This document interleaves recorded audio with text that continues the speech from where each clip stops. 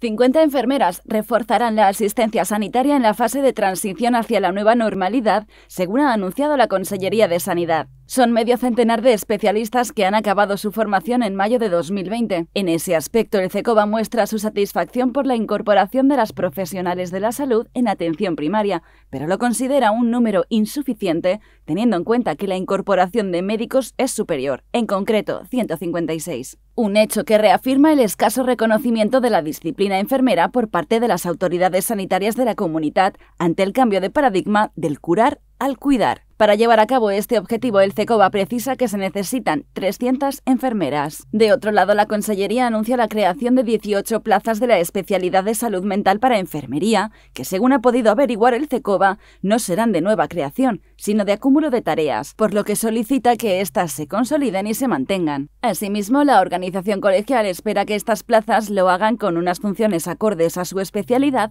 y con el reconocimiento económico requerido por su formación y especialización.